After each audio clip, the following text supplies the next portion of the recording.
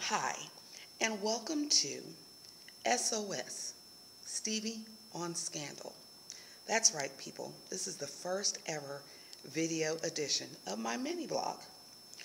So, you know how I always start out giving big ups to somebody from the show. Usually it's the costumer, but today it's Tony Goldwyn for directing that episode of Scandal. I mean, we knew he'd be a terrific director, right? I mean, he is from the Goldwyn family. MGM. Okay, so big ups, Tony. That was a fantastic episode, and baby, was it ever. Now, before we get to that, I need to say, I need a theme song. If we're going to do this video thing, I need a theme song. So, I'm sending a shout out to all my musical friends about giving me a theme song. Mark and Scott, hook a sister up with a theme song. To Ron Brooks, theme song. David Anthony, I need a theme song. Pasek and Paul, can you help me out with a theme song? Put your request below for who you think should write my theme song. Don't forget they have to sing it too because I'm not singing my own theme song.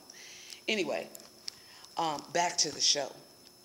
Baby, Shonda Rhimes took us there, didn't she? That show had so many twists and turns. I couldn't believe it when Jake was sitting there with Olivia saying, I broke in your house and stole the flash and copied the flash drive. Are you kidding me? It was supposed to be I give you something, you give me something, but she didn't give him nothing but a kiss that didn't mean nothing. And she said that too, didn't she? Anyway, I want to talk about the 22 minutes. Was that the longest 22 minutes? And it wasn't even a real 22 minutes. He sat down on that couch and he said, Sit here with me. Watch me choose you. Watch me earn you. She sat down in that chair. Marvin and Tammi started singing. And oh my goodness. It was on and popping then. It was just like tick tock, tick tock. Did you notice Mellie's face when it was tick tock, tick tock? She wasn't quite sure she'd made the right decision. I think she should have took the deal. But she didn't. So now she was stuck between the rock and the hard place. A place of her own making, I might add.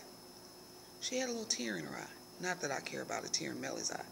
I thought Cyrus was going to have a heart attack running back and forth through that tunnel. I said, Cyrus, don't do it. Don't nobody even know you down there. Please don't have a heart attack going through the tunnel.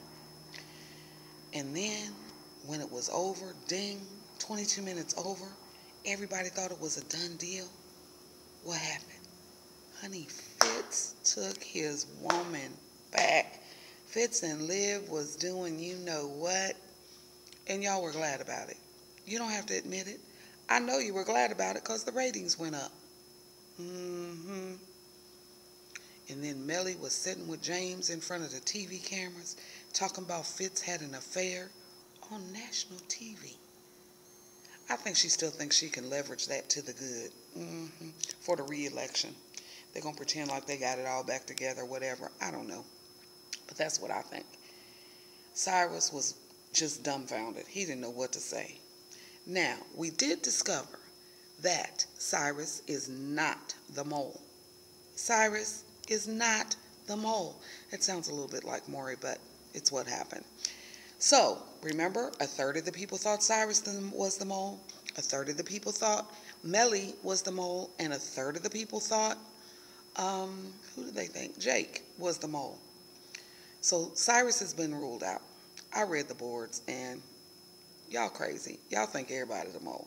People said Fitz. People said Huck. People said Abby. Abby could be the mole. You know, she a little testy. I don't know about her. Um, y'all was saying anybody. Somebody said America's baby was the mole. That made me laugh. That really made me laugh. So back to who the mole is. Now you know, two weeks ago I came out with my picks for the mole, which was Sally Langston, the vice president, and Edison. So now let's just suppose Sally has to have be working with somebody. Who might she be working with? Maybe Edison or maybe Billy Chambers is not dead. You know they do that all the time. Make you think somebody dead and then they're not dead. Remember, Charlie was supposed to kill Huck, but he didn't.